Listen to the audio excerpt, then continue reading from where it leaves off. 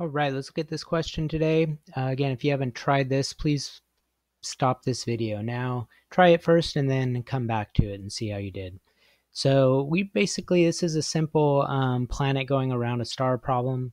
We have three situations and the question's asking what happens if the masses of either the planet or the mass of the star changes. So we are going to use just our basic um, gravitational force equation. And as you can see, the force is basically proportional to the two masses. It's also inversely to the radius squared, but if you look, the radii is the same in all three situations. So in this case, you know, if we quadruple the mass of the planet, then the mass of the force should also quadruple.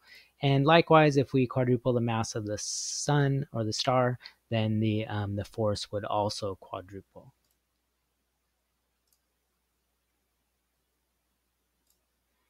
So in the next case, they're asking, all right, now how would the speed change? How would it be different for B and C? So um, the the question that they gave you in the um, in the the guide, um, I don't actually like it. What they're going to do here is going to kind of derive the the equation for the the planets, and that's fine. You should be able to definitely do that. So I'll let you kind of look over it. I'm not going to go through this. We've done this many, many, many times. The, the reason I don't like it is they're asking about this paragraph length response.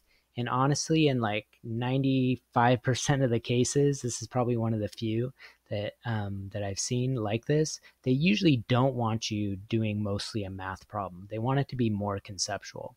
So even though this is in the the rubric, I'll go ahead and say you know it's acceptable, but um, I'm going to do it in a slightly different way. So this is kind of how I approached it.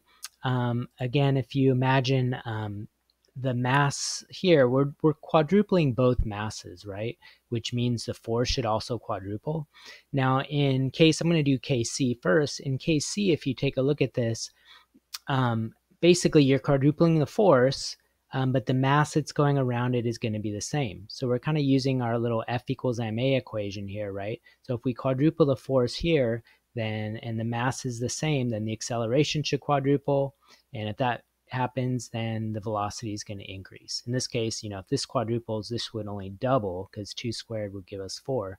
But um, they're not asking for the specifics. They just want to know if it would increase or decrease. So case C, clearly it's going to um, increase.